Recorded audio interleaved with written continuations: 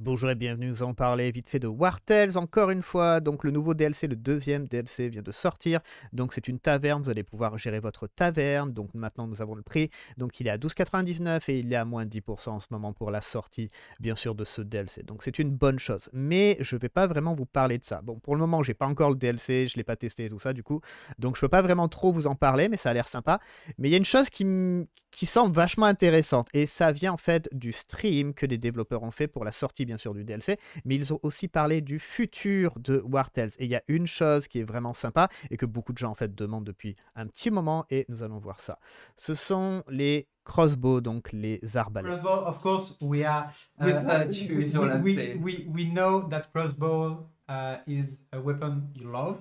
a new, and, a new ranged weapon. Yeah, and a new ranged weapon. So yeah, we are working on it. Uh, we we want to do it right because it's. Donc voilà, ils travaillent dessus. Donc comme ils disent, bien sûr, le, une nouvelle en fait euh, arme à distance doit être bien gérée tout ça parce que c'est très très facile de tout simplement faire du mauvais travail et de déséquilibrer complètement le gameplay du jeu.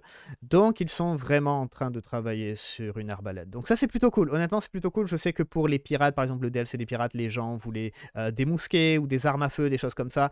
Euh, et ça fait très longtemps aussi que les gens demandent bien sûr des arbalètes parce que, encore une fois, l'époque du jeu dans laquelle le jeu se passe appelle un peu à, un peu à la fantasy et aussi appelle à des armes médiévales, donc comme les arbalètes.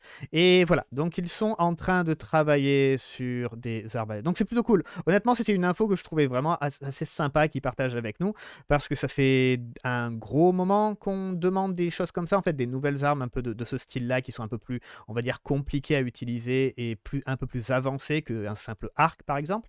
Donc ça, c'est une bonne chose. Donc voilà, je voulais juste partager ça, donc c'est plutôt sympa.